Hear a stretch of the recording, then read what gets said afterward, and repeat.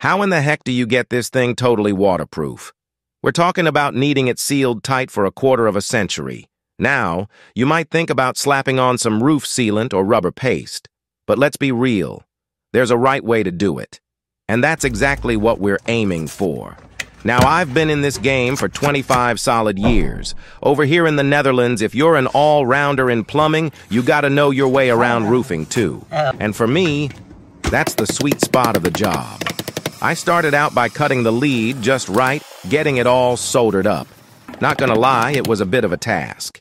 But then I got down to business with some adhesion primer on the lead, followed by slapping on some UV-resistant bitumen.